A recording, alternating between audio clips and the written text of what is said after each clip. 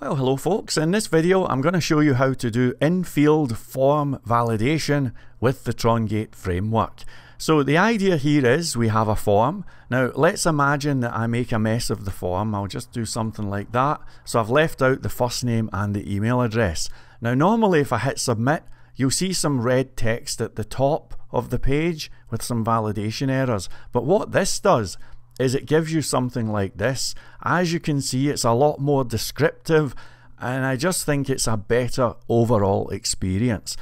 So this is what we're going to be making in this video. Now in order for this to work, you are going to need to have Trongate version 1.3.3036 or higher.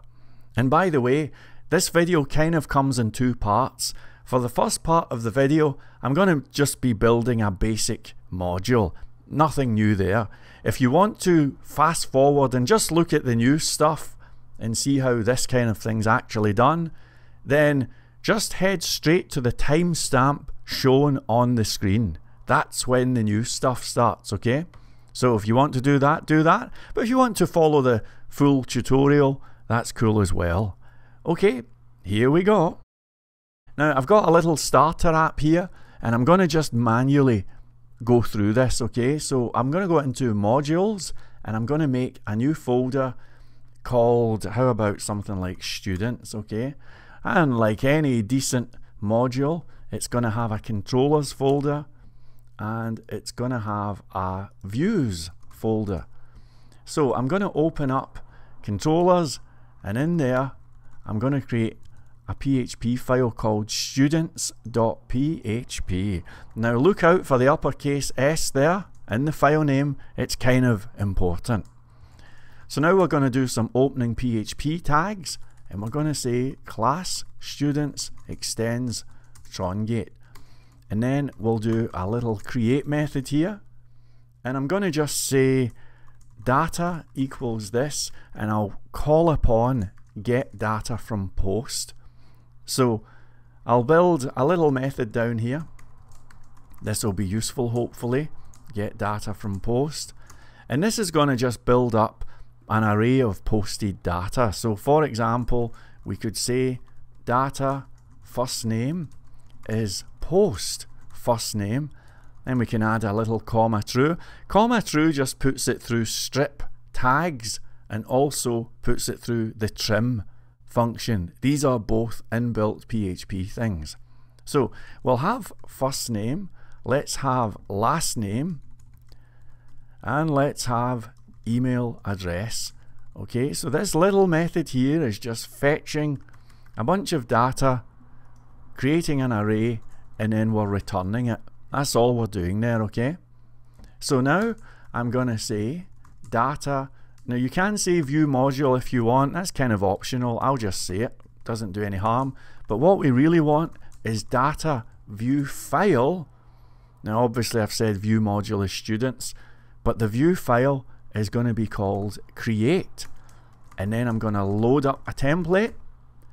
And as luck would have it, Trongate comes with two templates out of the box, one called admin and another called public. I'm going to use the public template for no particular reason and I'm going to pass in the data. Okay, so now let's go into views. We'll have a new file called create.php and I'm going to just do a little headline that says something like create new record. We'll have a paragraph. Please fill out the form below and then hit submit. So if we now navigate to students forward slash create, you'll see a page that looks a little bit like this. So let's build a form.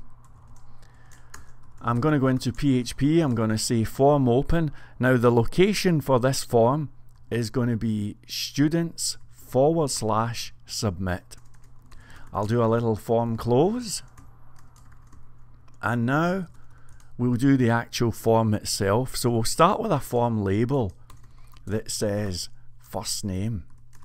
Then I'm going to say form input. We're going to have a name of first name, a value of whatever was passed in.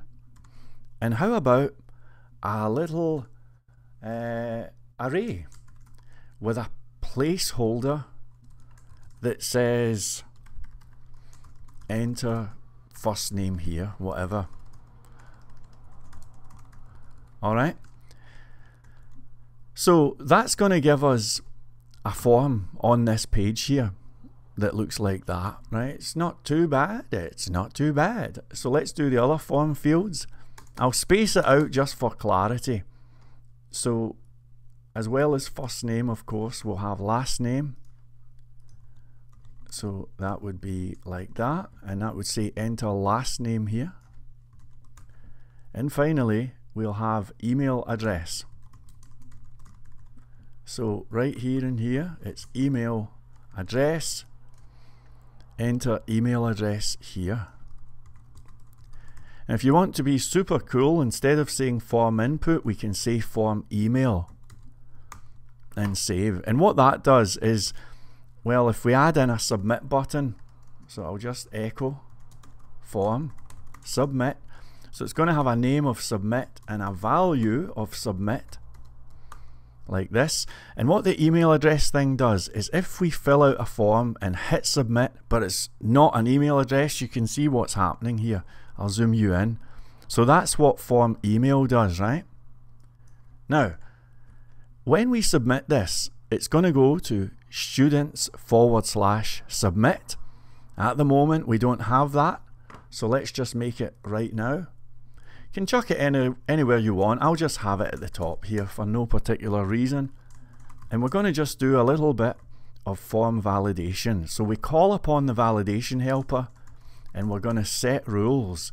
So the way we do this is we say, pardon me, we say set rules.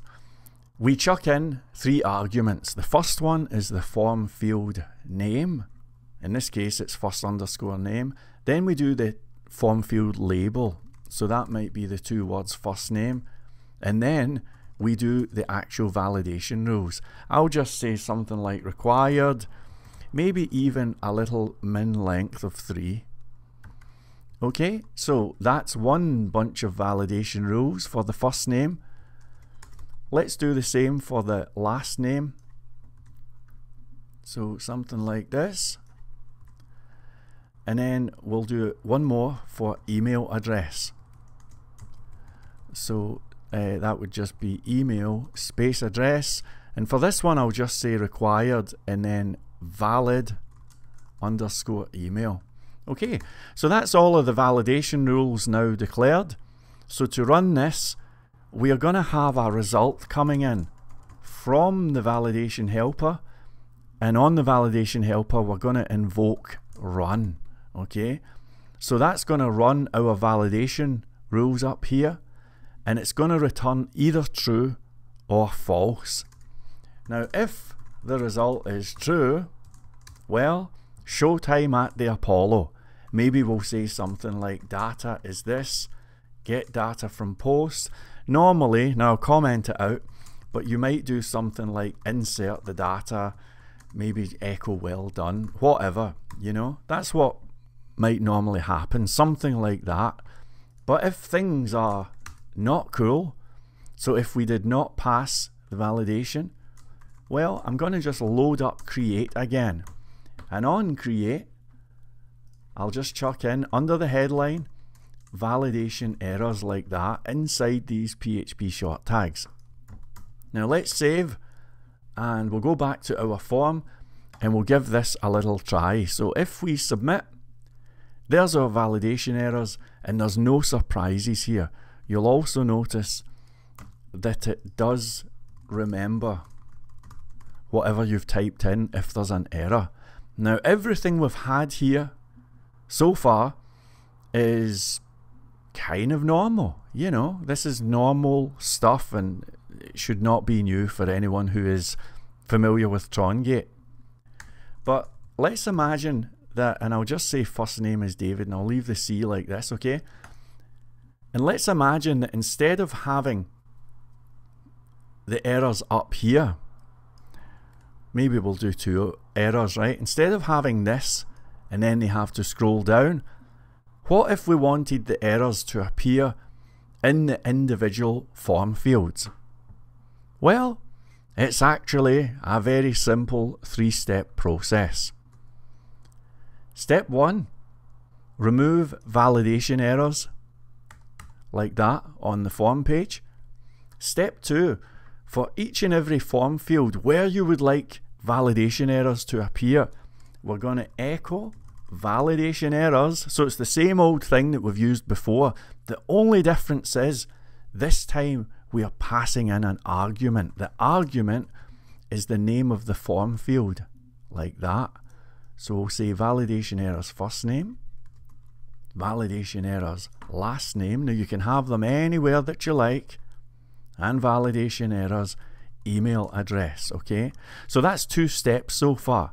We removed validation errors from the top, and we're now doing these individual validation errors. Now let's just save and we'll submit this again. And now, as you can see, the errors are appearing beside the individual form fields. But we can go a little bit further. You see, I said it was a three step process, we've only done two. So the final step is we're going to go to this form opening tag here. So this generates a form opening tag.